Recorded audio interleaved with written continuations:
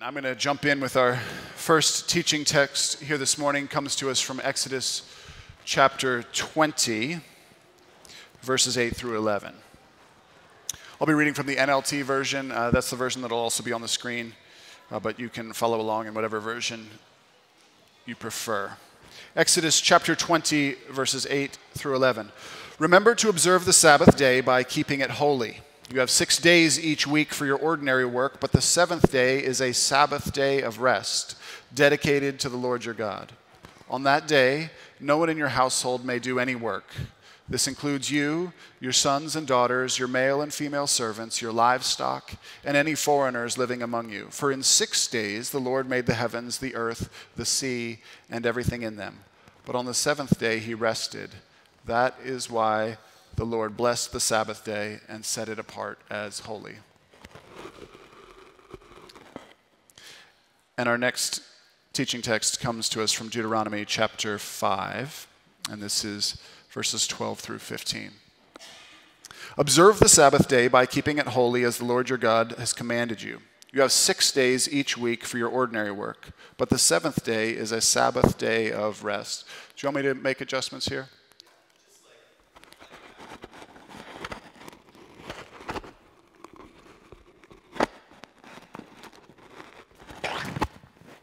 That better? I could shave my beard quickly. You know, six days each week for your ordinary work, but the seventh day is a Sabbath day of rest dedicated to the Lord your God. On that day, no one in your household may do any work. This includes you, your sons and daughters, your male and female servants, your oxen and donkeys and other livestock, and any foreigners living among you. All your male and female servants must rest as you do. Remember, that you were once slaves in Egypt, but the Lord your God brought you out with his strong hand and powerful arm. That is why the Lord your God has commanded you to rest on the Sabbath day. Let me pray. Father, we ask that you would show up here this morning by your Spirit. I believe that you've inspired these words to be written, these words that um, seem so ancient and in many ways foreign to us. We just pray that you would give us the imagination this morning uh, and the humility uh, to, to submit ourselves to your word and to allow you to reshape the way we see the world, uh, the way we behave in it for your glory. And we trust it's also for our good. We pray in Jesus' name. Amen. How many of you know that it's possible to buttress your resistance of God's grace with good theology? How many of you know that you can stiff arm God's grace by theologizing? Even uh, this week, some of you um, will be familiar with the C.S. Lewis's book, The Last Battle. I was reading that to my kids this week. And there's a scene where you might remember the very clever um, ape known as Shift comes up with a plan to dupe his not so bright donkey friend named Puzzle into wearing a lion's skin so that the other animals in the kingdom mistake Puzzle the donkey for the true king, a lion known as Aslan. And of course, Puzzle the donkey isn't uh, the brightest of the animals, but he's sensible enough to intuit that there's something wrong with this picture, and he protests to Puzzle or sorry, he protests to Shift. And it only takes a couple of moments of Shift's clever theologizing. He says, Oh, puzzle. Let me do the thinking. Just imagine all the good you could do in the name of Aslan. And so it only takes a moment for Shift to convince Puzzle to go along with the plan and to dress up as a lion. And I think sometimes we Christians can be both the clever ape and the dull donkey at the same time. It's easy for us to deceive ourselves sometimes with our own theologizing. And in my case, I did this when it came uh, to the Sabbath, uh, up until uh, fairly recently. Don't judge. Several years ago, I uh, planned a, a, teaching series at Central Presbyterian Church, our main mother church up in Towson, uh, on what we call the spiritual disciplines, which is just kind of an old word for uh, the habits that Christians have used, followers of Jesus have used over uh, the centuries for, for, for becoming like Jesus and behaving like Jesus. And I included Sabbath as one of the weeks because, you know, I knew some people liked it. I knew there were, it was listed in the books that talked about spiritual disciplines. And I was like, all right, some people like it, but I really wasn't that convinced because my instinct, or did I say ego, told me that although some people enjoyed breaks, breaks and resting were limits, and limits were crutches. Because when it was, came to hiking, I didn't want to take breaks. Breaks meant that you were out of shape. And when it came to playing sports, I didn't want to be pulled off the field to rest on the bench because that meant that you were not performing adequately. And so I thought, okay, I realize some people like this, but really, there are so many reasons that Sabbath doesn't obtain, at least not to me. Because after all, it's the only one of the Ten Commandments that doesn't get reiterated in the New Covenant. It is expressly fulfilled, therefore completed in Jesus. Sabbath is talking about our eschatological hope. When Jesus encounters people and argues over the Sabbath in the New Testament and the Gospels, it's almost always because he's breaking Sabbath rather than keeping Sabbath. Paul explicitly says, Don't let anybody judge you by what you do on Sabbath days. Had all the arguments, but these were just so many ways of giving the Heisman to the gift of Sabbath. And then a woman named Melissa Armstrong marched a Trojan horse behind my theological defenses. Melissa was in a small group that I was leading, and she was a top shelf neurologist at Maryland, and she would not shut up about the Sabbath. She just kept going on and on about it. And she would tell me that not only had her intentional practice of keeping Sabbath improved her doctoring and improved her marriage and given her the latitude to be a better parent, but it had also increased her productivity for this driven, ambitious, successful woman in a very demanding job. She said this had increased her productivity. Note, Sabbath is not about productivity, but sometimes God uses our idols to get our attention. More productivity sounded better to me, and so I began to listen. And that sent me on a journey, uh, several years of um, relaxing the theological stiff arm into a posture of receiving this gift of Sabbath. And to be fair, it's, it's, still very new. I think Jill and I would say that in our current form, we've only been deliberately trying to kind of Sabbath in this way for about a year. And as often as not, at the end of the week, we're like, golly, we didn't really receive the gift this week. We'll give it another shot next week. Uh, so I say that in hopes that it'll help you, that, um, that somewhere between the amateurism that I'm bringing this morning and the wisdom of some people who have practiced and mined the gift of Sabbath for decades that I'll share with you. Somewhere between those two poles, you will hear God's voice beckoning you in to receive this wonderful, wonderful gift. Before we get into it, let me um, take a step back and frame up uh, this little series we're in for you. I'm really grateful to uh, Larry Lynn, pastor at the Village Church in Hampden, for uh, preaching for us last week. He began uh, this mini series we have for three weeks here called Practicing the Way of Jesus. Practicing the Way of Jesus. We're really looking at these kind of ancient habits or ancient disciplines or practices that the Bible gives us and that our mothers and fathers in Christ for thousands of years have handed down, ways that help us to become more like Jesus. When I say become more like Jesus, of course, that's shorthand. I don't mean just that we adopt a set of rules and we follow those rules and therefore our behavior starts to look more like his behavior. That's not what we're talking about here. That's legalism, that can be legislated. That's not what we're talking about here. I'm talking about practices, habits that shape our desires, that give us both the appetite and the exercises to want to be more like Jesus and to become more like him, if that makes sense. Historically, uh, those habits or those practices have been lumped into two buckets uh, those of engagement, things like service, things like worship, and those of disengagement, right? Things like silence, Sabbath, solitude fasting.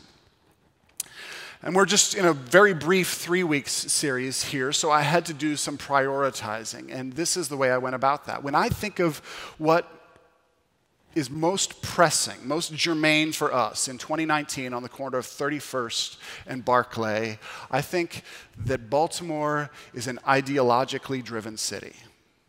Here's what I mean.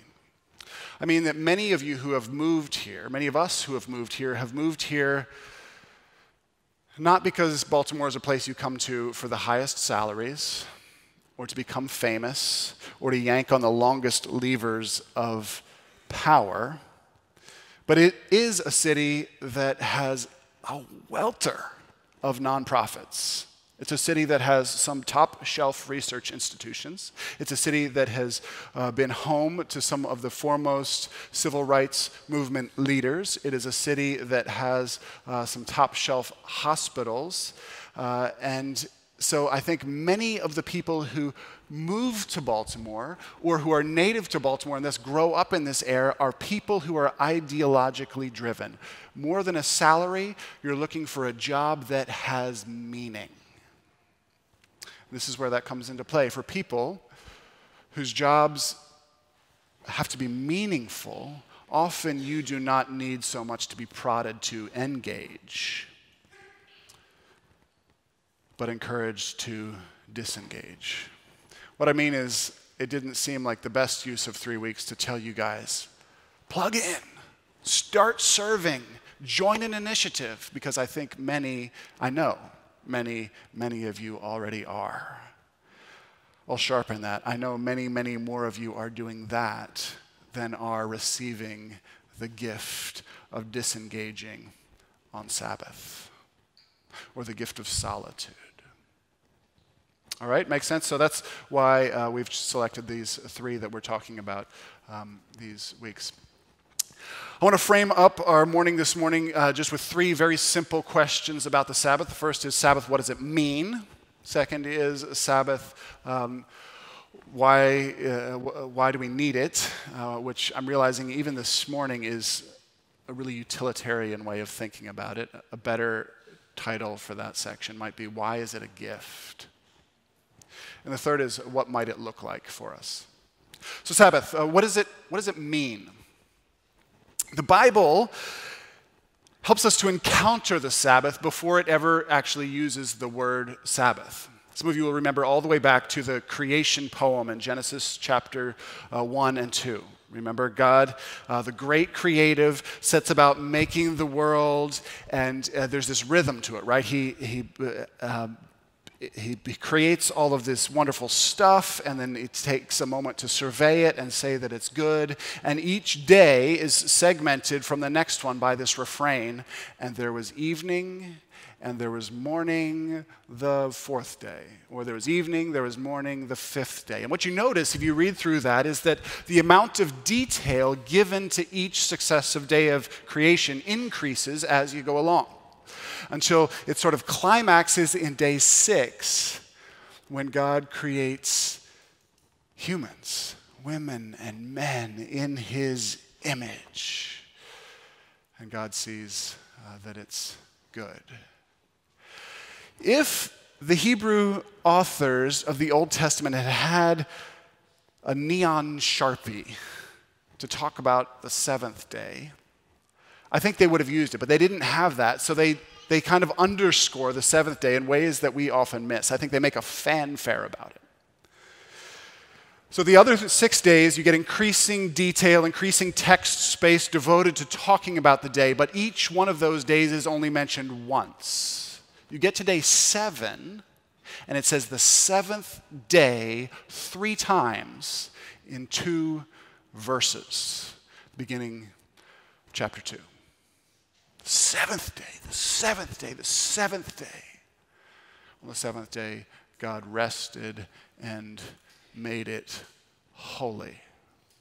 I mean, that is pretty incredible if you think about it. Uh, Jewish author says this is so fascinating among the world religions. We often see the gods, the deities of other world religions sanctifying some sort of space, a temple, uh, uh, a capital city, the throne of a king, but the God of the Bible, before he makes a sacred space, makes a sacred day, carves out time for himself.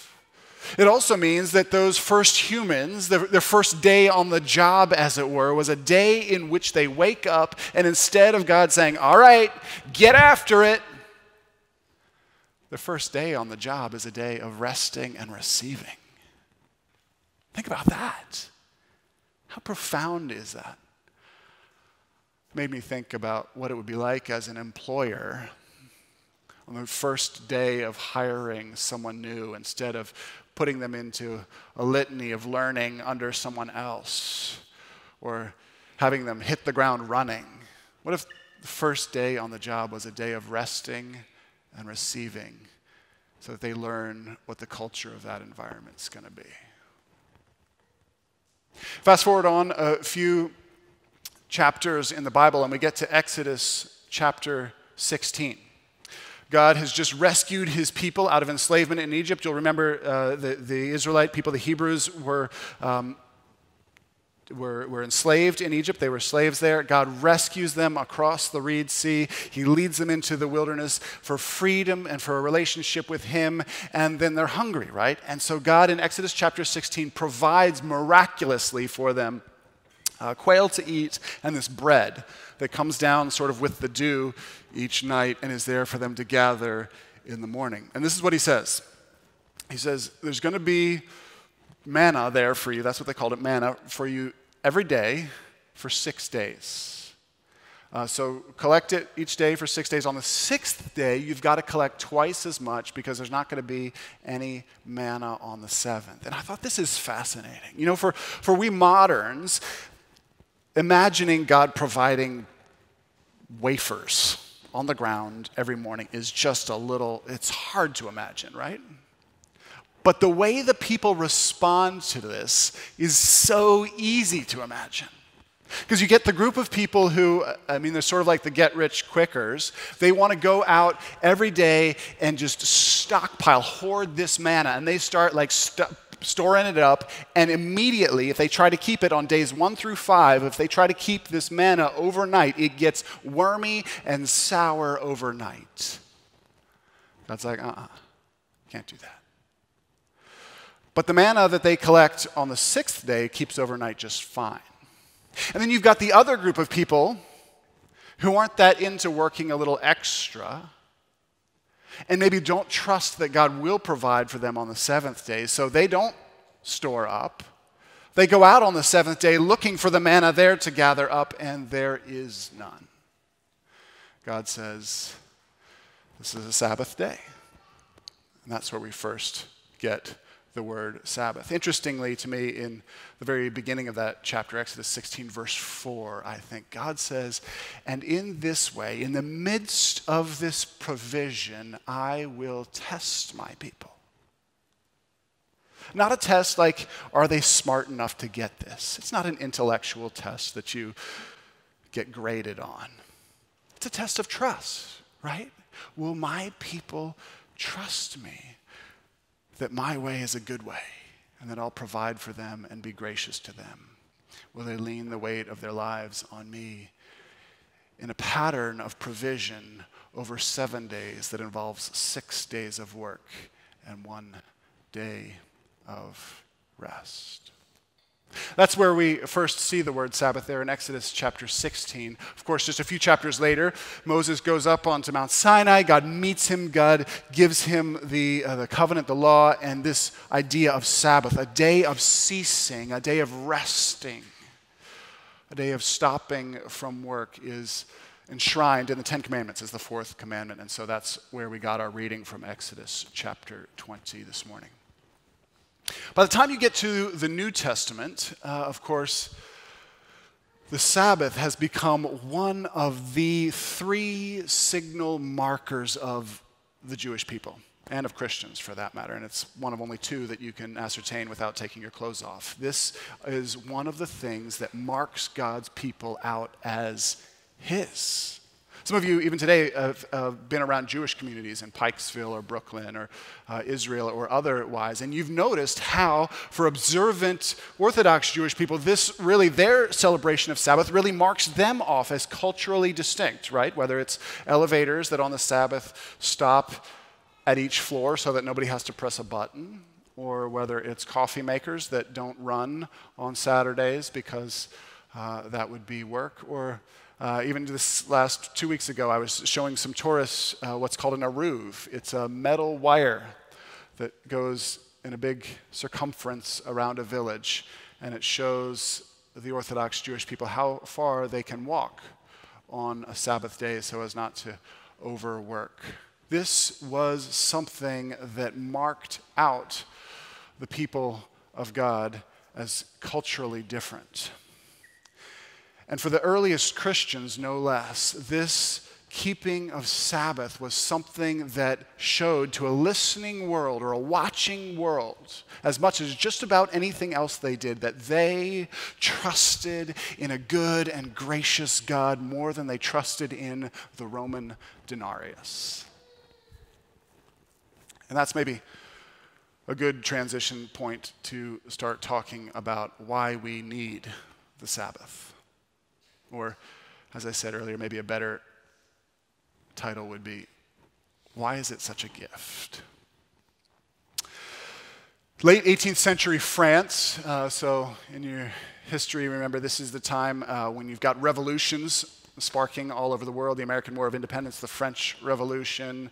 Uh, you've got the Industrial Revolution is, is, starting to tick up. You've got the founding of the modern missions movement. But in terms of spiritual temperature, we're at a low ebb between the First Great Awakening and the Second Great Awakening on both sides of the Atlantic. 1793, France, in an effort to increase their productivity and to distance themselves from Christianity, de Christianizes their calendar and goes goes from a seven day work week, because that seems arbitrary, to a 10 day work week in an effort to ramp up productivity. And the only thing that went up was suicide rates and burnout, and productivity plummeted. Productivity plummeted. I think um, this suggests to us something about the way God has set up the world. A.J. Swoboda tells us that uh, even NASA, when they were first doing some of the first NASA uh, stay in space missions, the astronauts were supposed to work these like 100 day uh, shifts without a break, and they ended up saying like they went the astronauts in space went on strike because after uh, however many dozens of days they were like this doesn't work. This goes against, the, against our biology. A.J. Swoboda um, says this As God invites us to Sabbath, we will be tempted to think that Sabbath cannot work for us. I don't have time to take a whole day to rest. People have expressed that to me for years. Biblically, however, this is not the case. The biblical story tells us that to rest one day a week is to be truly human, and to not rest is to be inhuman. I realize that's deeply offensive language, but maybe you'll allow that to irritate you enough to get under your skin and seep into your imagination. Humans were made to rest. When we say we don't have time to rest, we cannot find time for something that has already been found. For me, this was one of the, my biggest problems with Sabbath. It seemed like it was a limit. Like, who needs rest? You don't just keep going. And I think the first way that Sabbath is such a gift to us is that it is fundamental to our image bearing. I read to you at the outset our teaching text. Uh, one was the first listing of the Ten Commandments where it talks about the Sabbath in Exodus chapter 20. The other was the second listing of the Ten Commandments where it lists. Uh, it lists them in Deuteronomy chapter 5. And in each case, it gives a different rationale. It's the same instructions keep the Sabbath, keep a day holy, don't work, but a different rationale for why. I don't know if you caught it. A different reason for why. And I think they're both important here, and they show us why it's such a gift.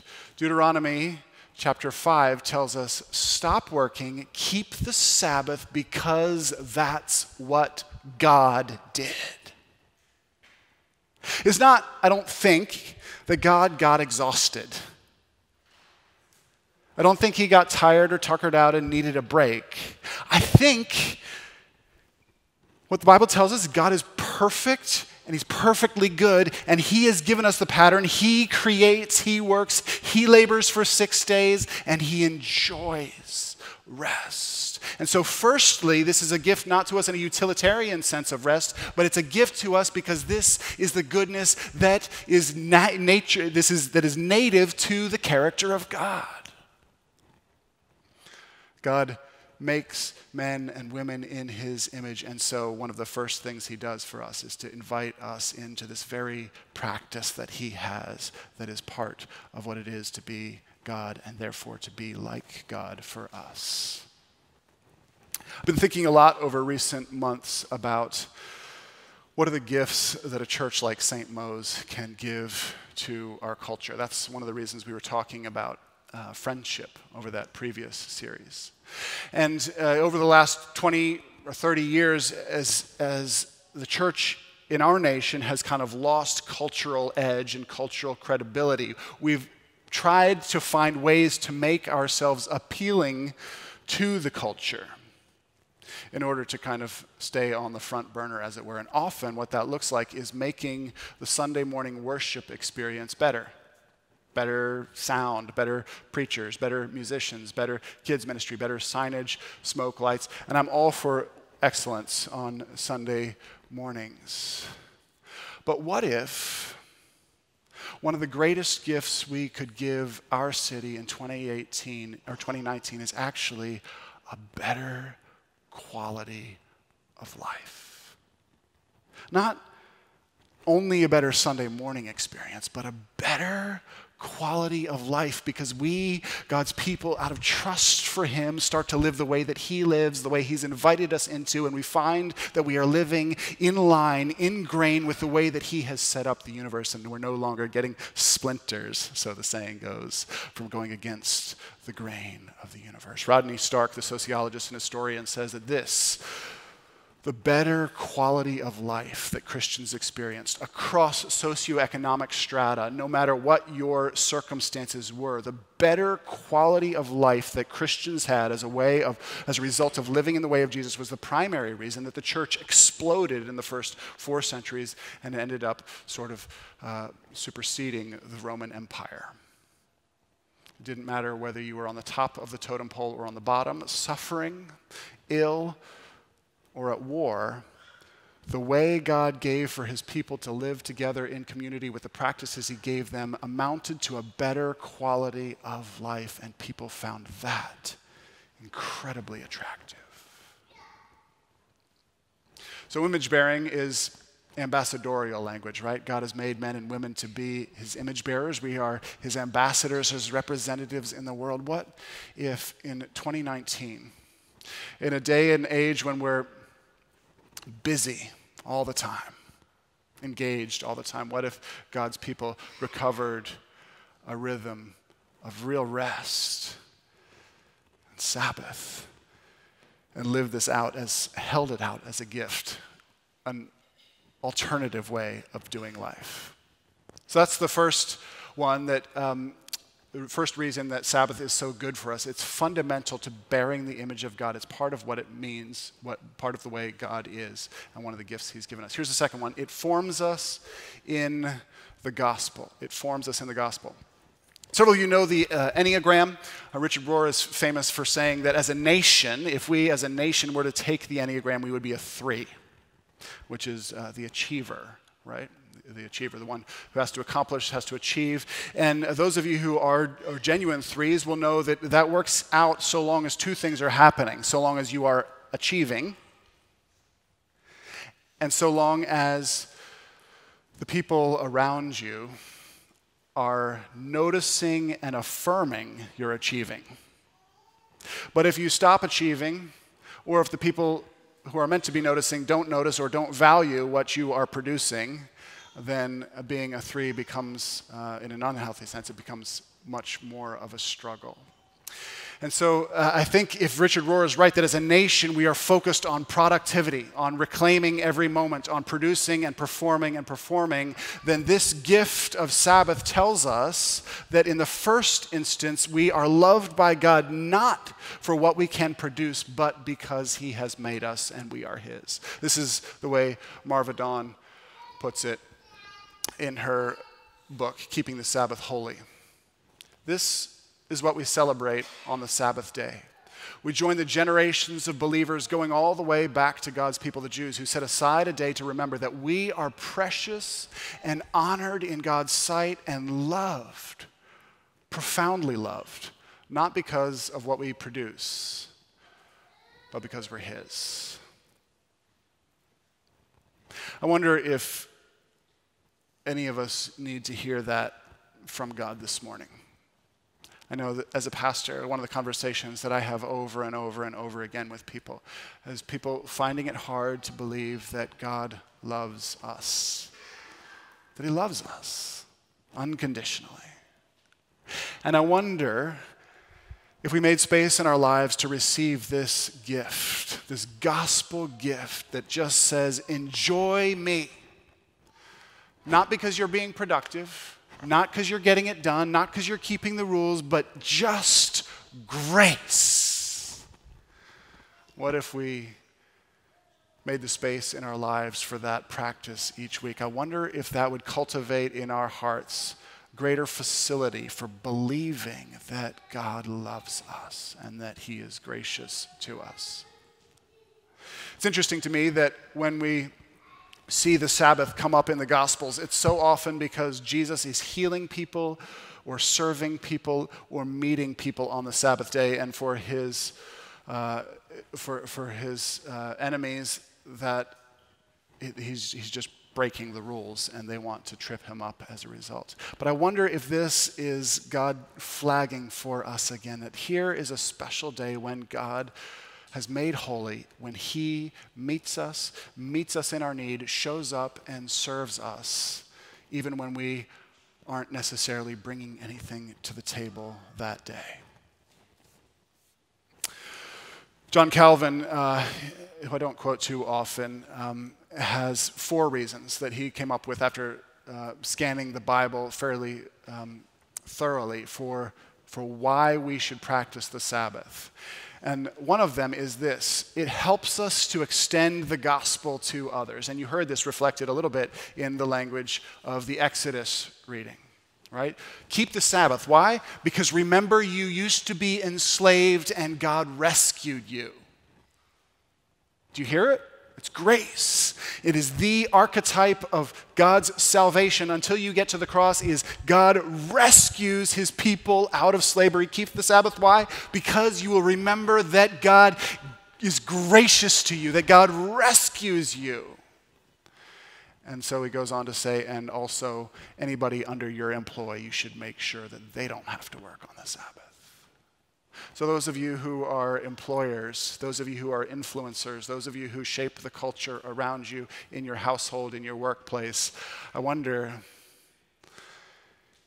if embracing this gift of Sabbath would be one of the primary ways that you extend grace to those who are in and under your influence. Because when you're working, those around you feel like they need to be working. So, two reasons uh, that uh, the, Sabbath is such a gift to us. Two reasons we need it. Firstly, it's fundamental to, to bearing God's image. And secondly, it forms us in the gospel. It's a weekly remolding to remind ourselves that we don't earn God's love, He just gives it.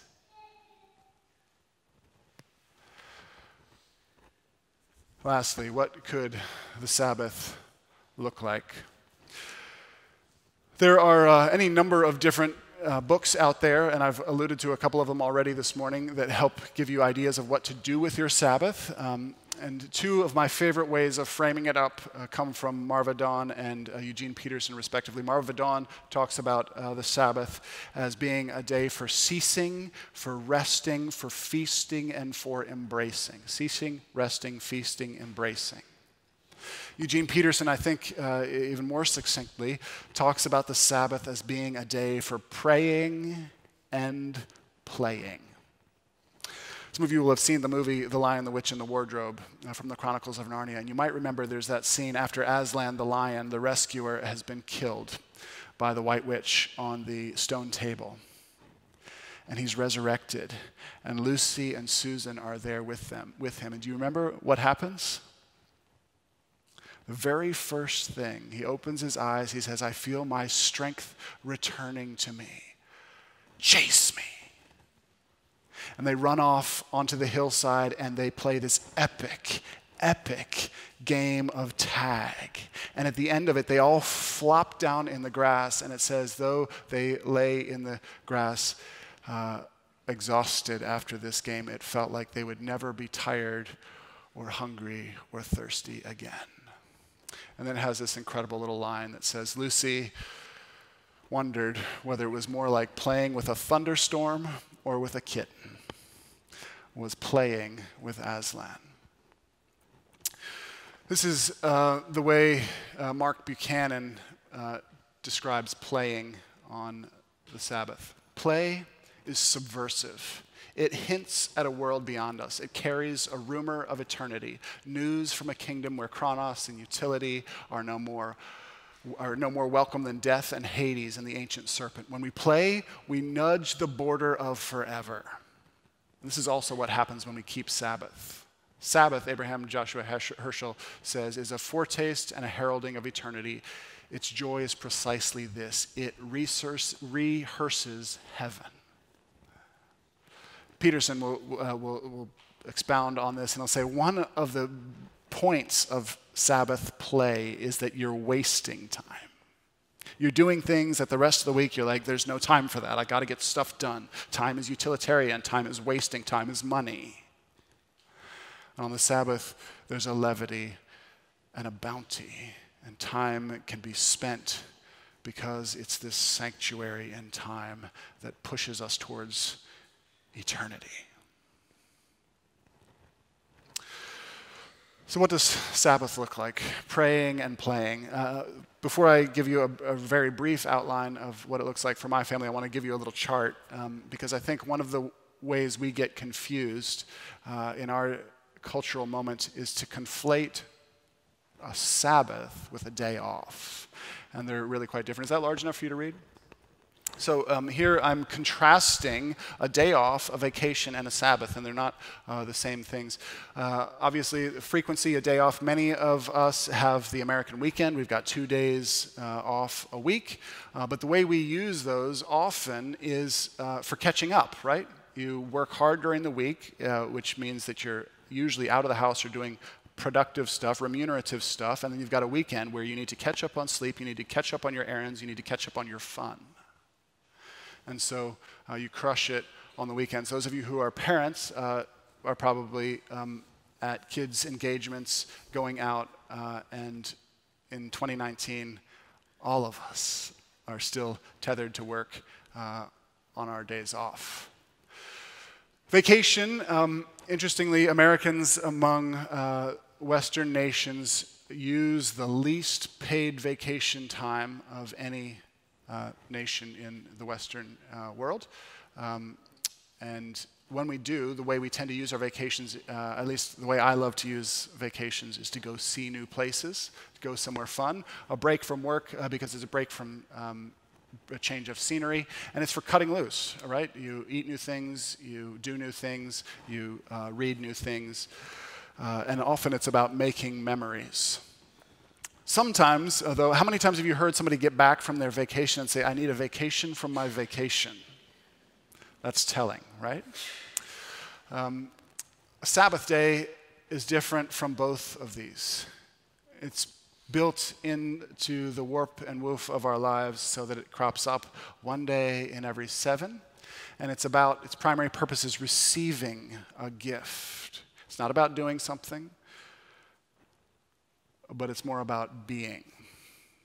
Um, it's it's uh, Pete Scazzero who says, uh, he says that all of our doing is meant to flow out of our being. And if our being can't sustain our doing, then we're in big trouble. Sabbath is for connecting, but not just connecting with anyone. Um, how many of you know that there those people who take energy from you and those, are those people who give you energy, people who are restful to be around and people who are not restful to be around. And that's not a comment on how much you love them or, what, or whether they're good quality people or not. It's just people strike you in different ways. And so, Sabbath, I think, often can be a day to connect with others uh, who help you to rest be present to God and to his people, uh, to eat, to feast. Um, those of you who have been around Jewish friends or Jewish neighbors will know that the Sabbath is associated with the best meals of the week and other things that are life giving. And at the end of a Sabbath day, hopefully you're feeling grateful grateful. We work six days toward a Sabbath, but for Christians, the Sabbath is the first day of the week, the day of resurrection, so we work out of our rest. Our rest fuels us and sustains us, and we achieve out of the grace uh, that has come first. So there's a little chart for you. Let me tell you briefly what um, Sabbath looks like in the McFadden family, and then we'll pray. Uh, often for us, on we, we Sabbath on Fridays. Often, what our Sabbath will look like is pancake breakfast. Um, we Deck uh, helps me make a bunch of pancakes, uh, really big ones sometimes. And we use way too much syrup, uh, and that's a theme. Uh, eating tasty treats is a theme for our uh, Sabbaths. I think Jill and I realized, probably taking cues from some of you guys, that one of the basic ways to set up uh, positive associations for things with your kids is do fun, tasty stuff. And we want our kids to grow up loving Sabbaths. So we uh, have a, a, big treat for breakfast. Uh, we try to spend time together outside, and we try to spend time together. This was one of our um, stated goals for our Sabbath uh, early on, and we knew that it was working when probably four months ago, Isla said to me, But if we do that, we won't be together. And I thought, interesting. She's catching on. Because the three biggest threats to our Sabbath are um, daddy working on his phone, even though uh, I'm not at work, uh, doing errands, because if you're not at work, it's tempting to, to to, to do the other things that you need to get done, or splitting up for the sake of efficiency rather than for the sake of proactive solitude. And so we've always, on our Sabbath days, got to resist those things. Uh, sometimes it, we feel like we got to divide and conquer, but we try, even if it's inefficient, on our family Sabbaths uh, to stay together. We eat well. We do something outside if the weather's nice. We do something together, and we have uh, an evening meal that is um, usually, hopefully, requires less preparation. So we uh, eat out, we order in, we do leftovers, or we do something simple uh, fairly frequently. And we look for ways uh, often to spend time uh, with, with friends, family, people we love, and have a slightly more spacious morning uh, of reading scriptures together uh, out loud. So those are some of our um, Sabbath practices. I realize that's, that obtains to our life moment right now, where our kids are preschool age. Come September, ooh, who knows what's going to happen? Uh, so you've got to got to make adjust things for, for where you are in life. But I hope that some of these principles are helpful. Let me pray, and then we'll transition uh, to the Lord's table. Father, you're so kind to us. Thank you for the gift of Sabbath. And I pray for this little church family. I pray that um, so far as you want to, that you would give this church family a new way of living into the Sabbath and of cultivating this gift and of experiencing your grace in it and of building one another up in it and of sharing this with our city. Because, Father, we want more of you and we want to be more like you and we want to be better ambassadors for you. And if embracing this practice is one of the ways uh, you want to do that in us, we pray that you would uh, soften whether the theological stiff arming or the busyness, or whatever other resistance we have for it. Father, help us to receive this gift from you. In Jesus' name we pray. Amen.